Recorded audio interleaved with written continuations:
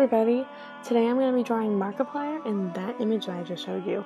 So I start off by doing my line art, which I'm like half and half okay with. I drew, you can see I drew two eyes in my original sketch to figure out which one I would want to use because I was like, well, I don't know if I want to go big and cartoony or if I want to do closer to realistic eyes. Turns out I wanted the closer to realistic ones when I went and did it digitally. But basically, here I am going in and doing the rest of my line art, which took me so long. I like don't know why.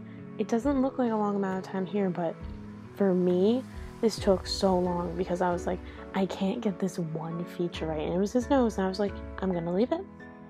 I'm gonna just fix see here it is. I'm fixing it and I fixed it because it was annoying me so much. And here I am doing like the smaller, finer details in the line art before I believe I go on to color his face. Now, in the image I'm doing, there's a red light. In that red light, you can kind of see. So I was like, okay, you can see the red light. I kind of want to incorporate that. So I did a very, very dull color for the base of his skin tone. So I could add in all these like nice, richer tones while I did my shading, my lighting, you know, all that fun stuff. It took me probably the longest amount of time in this piece, but you know, the end result to me is really worth it. I I think I'm getting more used to sculpting out the nose and everything too digitally with colors because before, let's be honest, I really didn't know what I was doing. And I still really don't know what I'm doing. I'm kind of just going for it at this point.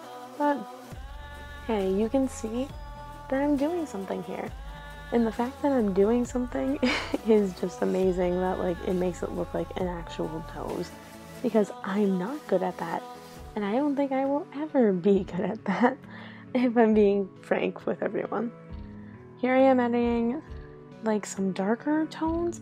I didn't really like them, they seemed a bit muddy, but in the final piece, overall, I really liked it because it kind of helped with the contrast of the hair and my background that I eventually do, which I am not totally 100% okay with this background. You will probably honestly see me post this on my Instagram which is Russell Draws, by the way. Just gonna do like a little self insert of that. and you'll probably see me post that there, but you'll see it cropped out, like just to show him because I don't like the background. I don't know why I don't like the background.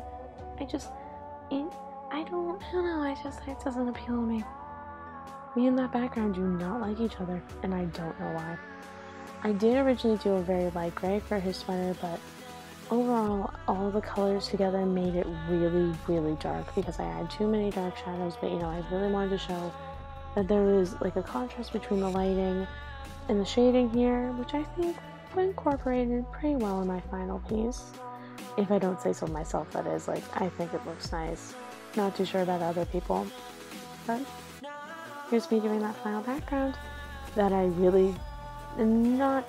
I'm gonna go in and fix it that's me saying this. I'm gonna go and fix it. I'm gonna post a fixed piece on Instagram, which is probably just gonna be me cropping it a bunch. But here is the final end result from my Markiplier drawing.